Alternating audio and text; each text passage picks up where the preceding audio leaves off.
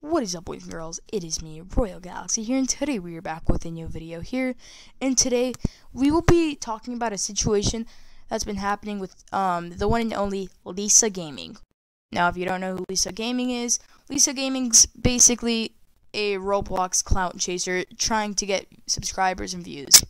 She deletes people's Bloxburg houses promising that she would create a Bloxburg house for them actually one time ran into her in Bloxburg and she promised that she would be editing my house while um, she started deleting my garage.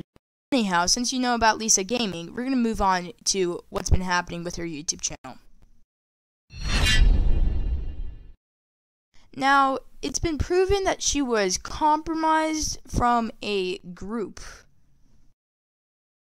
now, honestly, I'm not going to mention who this group is just because I don't know if they're trying to be clout chasers too. On the Lisa Gaming YouTube channel, there is a new video that appears to be some compromising video mabobber from some type of group.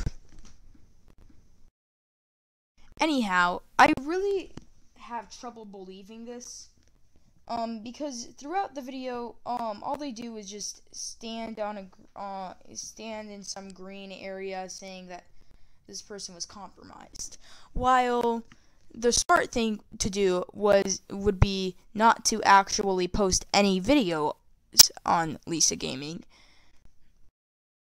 Now I say that because YouTube can easily scan through um, videos and see that the location of the YouTube account has switched to a different area.